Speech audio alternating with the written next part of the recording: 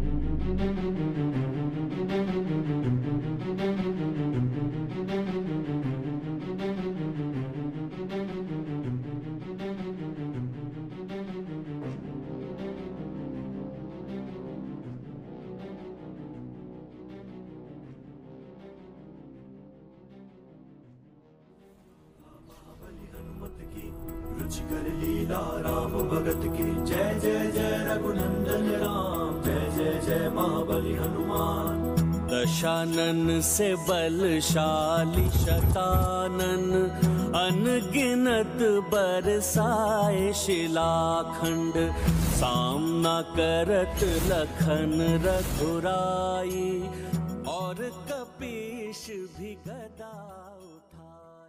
हे फार जागृत देवस्थान आहे. गावाचं जागृत देवस्थान आहे. एक नंबर हनुमान दोन दोन नंबर देवी. त्या सुदैवाने मला वारखेड्याच्या मंदिरमध्ये यश आलं. माझी जी जमीन पडीक होती माझी म्हणजे मी काय फोकट्याची वाढायला ही चा बायकोची जमीन आहे. वर आषाढ महिन्यात शेवटच्या रविवारी मी गाव जेवण देतो. तुम्ही पण जेवणाला या कारण इथं बिर्याणी असते. बिर्याणी खा आणि आनंद लोटा.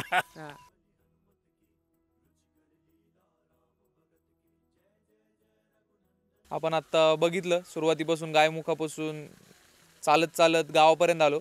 गाव आपलं तरी पकडलं तिथून वीस पंचवीस किलोमीटर आहे. रात्रभर चालायचं असतं. दोन ठिकाणं असतात तशी माहिती तुम्हाला सांगतीलच. आपण माझी पहिली कावड होती. त्याचं सांगण्याचं उद्देश आहे कसं वाटलंय काय वाटलंय? चालायला तर आपण चालतोच तसं माहिती आहे तुम्हाला. चालायला चांगलंच चालतो. पण इथं असं होतं चालायला बिना चपलीचं चालायचं होतं. आणि दुसरी गोष्ट रस्ते एवढे सुंदर होते घोडेगावापासून.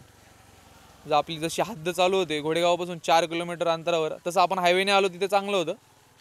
पण घोडेगावापासून जसं आलो रस्ते एवढे सुंदर होते. चालत होतो जसं काचेवर चालत होतो असं वाटत होतं. तर माझ्या मते लवकरच बनतील रस्ते. ग्रामपंचायत आपले सरसे स्वागत करीत आहे. करून काव कावडीला किती त्रास होतो पोरांना ते समजन. बाकी कावड चांगली आहे. करण्यासारखी प्रत्येकाने करावी. आणि आमच्या गावाचं महत्त्व म्हणजे ह्या नगरपट्ट्यामध्ये जर तुम्ही आला नगरपट्ट्यामध्ये असं महत्त्व आहे कावडीला घरातून घरातून एक जण हा कावडीला जातो. तर आम माझ्याबरोबर महेशा होता. मी महेश तुम्हाला माहितीच आहे. जो आपला गणपतीच्या व्हिडिओमध्ये असतो माझा भाऊ आहे. तर तो असतो कावडीला गावाला कोण असलं तो असतो उमेश असतो असं जात असतात.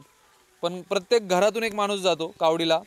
नंतर गाव हे नदीमध्ये आलो आपण गावाचे येस बोलतो आपण जसं आपल्या भाषेत गेट असेल. गेटला आलो की गाव आपल्याला न्यायला येतं तर तुम्ही व्हिडिओमध्ये बघितलंच असेल. आणि तुम्हाला माय आता म्हातारी माणसं आहेत ती अनुभवी ते पण सांगतील बरेच पण आपला अनुभव इथंच थांबवतो. आणि आपण त्यांच्याकडे जाऊ. पहिलं मंदिर याचं होतं खानाचं होतं. आता याचं स्लॅप आहे. चांगलं आहे. हां चांगलं मंदिर आहे.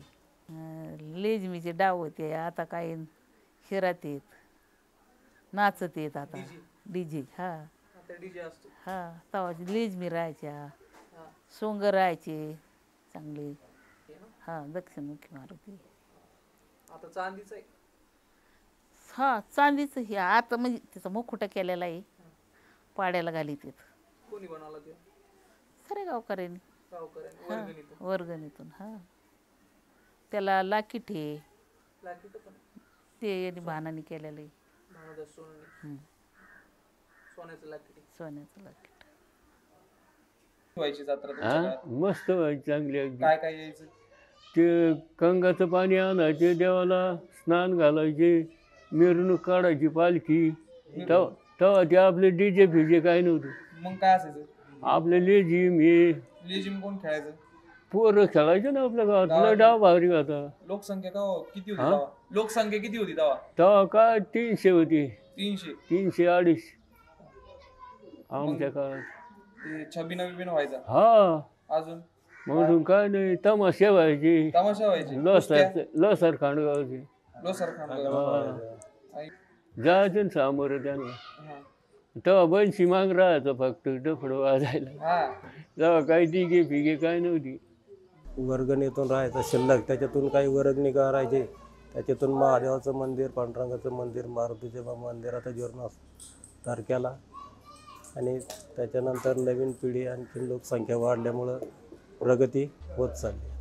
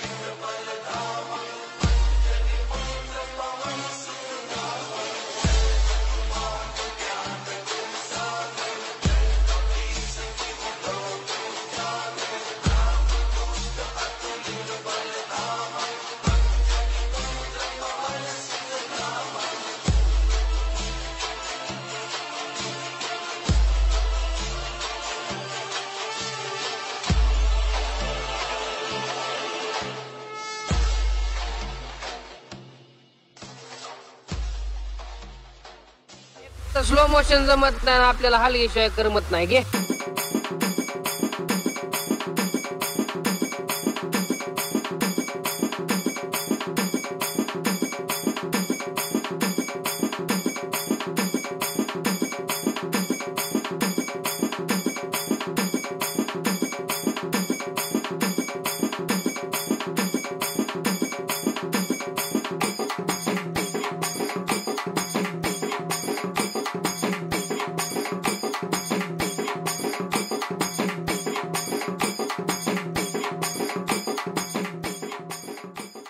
आमच्या गावचं ग्रामदैवत जागृत देवस्थान दक्षिणमुखी हनुमंतरायाचा मी अनुभव आपल्यासमोर सांगतो. पंधरा वर्षांपूर्वी मला विंचवाने दंश केला. मंदिर ते माझं घर हे साधारण दीडशे फूट अंतर. मी सकाळी उठल्यानंतर मला जाणवलं मला काहीतरी चावलं आहे मी रडत होतो अक्षरशः आणि घरापासून मी आंघोळ करून निघालो आणि मंदिरात यायला मला साधारण दीडशे फुटावर यायला पंधरा मिनटं लागली. आणि हनुमंतरायाचं दर्शन घेतलं. आणि दर्शन घेतल्यानंतर तिथला अंगारा हा त्या ज्या ठिकाणी दंश झाला होता त्या ठिकाणी लावला आणि देवाचा चमत्कार एका सेकंदामध्ये माझा पूर्ण दंश झालेला जो मला वेदना होत होत्या त्या क्षणात गायब झाल्या. जय बजरंगबली. हा पाडव्याला यात्रा भरते. पाडव्यानंतर आम्ही हनुमान जयंतीला उत्सव चालू नव्हता. तो आम्ही दोन ते तीन जणांनी चालू केला. आज त्याचा वटवृक्ष खूप मोठा झालेला आहे. दोनशे ते अडीचशे लोक ज्या इथे कावडीला जातात इतका मोठा प्रस्त वाढलेला आहे. आणि आम्ही हनुमान जयंती खूप मोठ्या उत्साहाने साजरी करतो. एवढे बोलून मी माझे दोन शब्द संपवतो. आज आपल्या मंदिरामध्ये जी यात्रा आहे आणि यात्रेनिमित्तानं आमच्या गावची जी परंपरा आहे गेले परंपरा म्हणजे आम्हालासुद्धा सांगता येणार नाही. अशी परंपरा आहे. ज्यावेळेस इथे ह्या ठिकाणी खणाचं मंदिर होतं ते मंदिर आणि एक मूर्ती अशी होती की त्या मूर्तीचा एक लेप तयार झालेला होता. तो लेपच जवळजवळ दहा वीस किलो लेप निघाला असून अशी ती मूर्ती होती. ती नंतर या ठिकाणी त्या मूर्तीचा पण हे सगळे हे काढले आणि काढल्यानंतर मंदिराचं हे केल्यानंतर आम्ही मंदिराचं परत बांधकाम ह्या ठिकाणी आमच्या ग्रामस्थाच्या वतीनं सगळ्याच्या वतीनं आम्ही ह्या ठिकाणी त्याच्यामध्ये त्या खणावरती स्लॅब टाकला. स्लॅब टाकल्यानंतर गावचे जेवढं मंदिराचा विकास करता येईल आमच्या ग्रामस्थाच्या वतीनं ज्यावेळेस आमची यात्रा पूर्वीच्या काळामध्ये बंद पडलेली होती आम्ही एक दहा वीस कार्यकर्ते आणि बबनराव बाराते असतील बाबासाहेब सोनवणे असतील आणि इतर असे दहा वीस कार्यकर्ते त्यामध्ये आम्ही एकत्र येऊन हे काय परंपरा आजपर्यंत चालू आहे आणि ती एकदम व्यवस्थित त्या गावचा विकास कसं देवाचं मंदिर या ठिकाणी दक्षिणमुखी हनुमान मंदिर असल्यामुळं त्याची परंपरा एकदम चांगल्या पद्धतीची आहे. खाऊ एकोपानी चालतं. आणि मंदिरामध्ये सगळ्यांचे सगळे दर्शन घेण्यासाठी आणि याचमध्ये एक पत्ती आहे स्त्रिया मंदिरात येत नाहीत. सगळ्यात महत्त्वाचा भाग दर्शन ही पायरीलाच घेतलं जातं. पुरुषच फक्त मंदिरामध्ये येतात अशी ही मारुत्र्याची परंपरा आहे. फटाक्यांची आतिषबाजी होते. अशा पद्धतीने आमची यात्रा पार पडते. गावामध्ये हनुमान मंदिर आहे व तो दक्षिणमुखी जागृत देवस्थान आहे. येथे शांततेत आत्तापर्यंत यात्रा आमच्या व्यवस्थित पार पडलेल्या आहेत. तरी आमच्या गावामध्ये कायदा व्यवस्था सर्व सुशिक्षित आजपर्यंत आहे. माझी नेमणूक नव्याण्णव म्हणजे वी बावीस ते वीस वर्ष झालेले आहे. तरी आमच्या येथे सर्व सुरळीत चालू आहे. ही सालाभराप्रमाणे यात्रा उत्सव सगळं गावाचं आराध्य दैवत आहे दक्षिणमुखी मारुती आहे संपूर्ण संकट आरिष्ट भय चिंता कोणी आजारी असेल आजारी प्रश्न असेल कोणाचं कार्य होत नसेल कार्यसुद्धा निर्विघ्नपणे पार पडतं अशा प्रकारे अनेक प्रकारची आख्यायिका ह्या गावात आणि हे गाव वानराचं गाव म्हणून या ठिकाणी मोरेश्वर मोहरगाव या ठिकाणी दक्षिण मारुतीची छाया सर्व गावाला हे पावन करणारा मारुती आहे. आमच्या गावात आख्यायिका अशी आहे की मोरगावांमध्ये सर्पदंश किंवा कोणाला नागिन झाली विषारी काही जर असलं तर मोरगावांमध्ये मंत्रोपचार केल्यानंतर दोन दिवसात लगेच फरक होतो.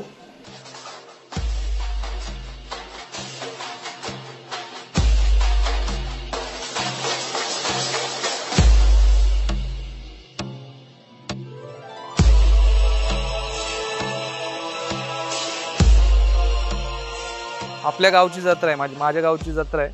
माझं गाव मोरगावन. शनी शिंगणापूरपासून काही दहा पाच किलोमीटर अंतरावर आहे आपलं गाव.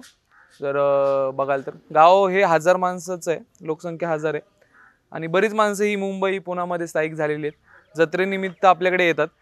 आणि जत्रेमध्ये अशी प्रथा आहे आपल्याकडे. कावड जर नगर जिल्ह्यात तुम्ही आला तर कावड ही प्रथा आहे. कावड म्हणजे प्रथामध्ये गंगेचं पाणी आणि गायमुखेचं काम पाणी. असे दोन ठिकाण आहेत तिथून पाणी येतं. आणि त्या पाण्याने स्नान केलं जातं देवाला स्नान घातलं जातं. आणि कावडीमध्ये जे मा जातात मुलं जातात त्या मुलांना शिव नये म्हणजे त्यांचं जे पुण्य आहे ते ती प्रथा आहे. जर तुम्ही कावड जर बघितलं जर कोण घेऊन चाललं असेल रस्त्याने तर त्याला तुम्ही शिवायचं किंवा काही प्रयत्न करू नका. तर ते त्याचं पाप होऊन जातं त्या माणसाला ज्याने जे करतोय त्याचं काय होत नाही जे जो शिवतो त्याला पण जो आणतोय लांबून कावड आणतोय गायमुख असेल तर आपल्या इथून पंचवीस किलोमीटर अंतरावर गायमुख आहे आणि गंगेचा असेल तर ते पंचावन्न ते साठ किलोमीटर अंतर आहे. तो बिनचपली जातो गायमुखावर किंवा गंगेवर. तर आणि जर असेल त्याला पाणी द्यायचा प्रयत्न करा रस्त्याने चालला असेल त्याला पाणी द्यायचा प्रयत्न करा आणि त्याची मदत करायचा प्रयत्न करा. आणि जर आता दुसरं बघायला गेलं तर आपले दक्षिणमुखी हनुमान आहे जर गावचं बघितलं माझ्या तर दक्षिणमुखी हनुमान आहे. आणि दक्षिणमुखी हनुमान हा नागिन जसं तुम्ही बघितलं आपण अंधश्रद्धा बघत नाही पण जर तुम्ही आता मी जेवढं बघितलंय तेवढं चांगलं आहे आणि ते होतंय घडलेल्या गोष्टी आहेत काय कोण असं वाढून सांगते असं काही नाही. तुम्ही पहिले डॉक्टरला सगळं दाखवा तिथं नीट नाही झाले तर नागिन सर्पदंश या गोष्टी झालेल्या आहेत. आणि सर्पाचं जर तुम्ही एक गोष्ट ऐकली चौधरी म्हणून होते आमचे नातेवाईकच आहेत चौधरी म्हणून तर ती पण घडलेली गोष्ट आहे. जे म्हणजे आ- माझ्या वयाचे असतील माझे वडील त्या टायमाची जी गोष्ट झाली होती जो नाग येऊन चावला होता तर ते ती झालेली गोष्ट आहे अख्खं गाव सांगतं आपली ती गोष्ट. आणि आपलं छबिनाचं म्हणायला आपलं जत्रेचं म्हणायला गेलं तर जत्रेमध्ये आता हजार लोकसंख्या असल्यामुळे कुस्ती किंवा ऑर्केस्ट्रा अशा गोष्टी काही जात होत नाहीत. हो आता ह्या वर्षी होतं ऑर्केस्ट्रा ते भजन मंडळ होतं. पण जर बाकीच्या गावांनी गेलं तर ऑर्केस्ट्रा म्हणजे तमाशा टाईपमध्ये ज्याला कला केंद्र आपण मी बोललो होतो मागच्या टायमाला ती एक असते गोष्ट. आणि कुस्तीला लय महत्त्व आहे आमच्या इथे कुस्ती असते. पण आता हळूहळू चालू करू. आता दोन वर्ष झाली नाही. सात आठ वर्ष झाली नाही आपल्या इथं कुस्ती. आता लांबून लांबून पैलवान येतात. तर त्या गोष्टी आहेत. त्याच्यानंतर छबिना आहे छबिनाचा अर्थ असा आहे नंतर रात्री पाडव्याला रात्री छबिना म्हणजे पालखी मिरवतात. ना त्याच्याकडे आम्हाला छबी छबिना बोलतात आमच्या इकडे. तर पालखी अशी गावभर मिरवतात. मग ती परत मंदिरात येऊन ठेवतात. त्याच्यानंतर आतिषबाजी होते. जर तुम्ही व्हिडिओमध्ये बघाल तर ती आतिषबाजी असते.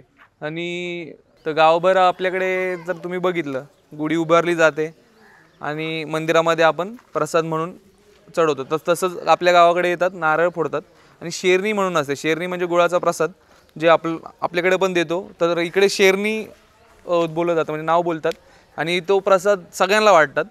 परातभर गुळ असतो आपल्याकडं. सगळ्यांच्या घरातून परातभर गुळ येतो. परात म्हणजे जर पकडलं तर असं एक मोठं ताट असतं. जसं छोटी ताटली असेल त्याचं एक मोठं ताट असतं. त्याला परात बोलतो आपण इथं. तर परातभर गुळ असतो आणि त्याच्यामध्ये नारळ असतो. तर सगळ्या माणसांना तो एकमेकांना द्यायचा. जसं आपण सोन्याचं पान असतं किंवा तिळगुळ असतं तोच प्रकार आहे. आणि नवीन वर्ष आहे आपलं हिंदुवांचं नवीन वर्ष आहे. तर त्या टायमाला आपली जत्रा चालू होते आणि इथून आता स सर्व जत्रा चालू होतील. हळूहळू हनुमान जयंतीला जत्रा असतील आपल्या आजूबाजूची गाव आहेत जावरवाडी आहे कोल्हारे नंतर इथं शनी शिंगणापूरची. शनी शिंगणापूरची पण आपल्याच दिवशी गुढीपाडव्यालाच जत्रा असते. तिथे पण पाणी टाकलं जातं. तर तिकडची जत्रा आपण पुढच्या वर्षी दाखवू.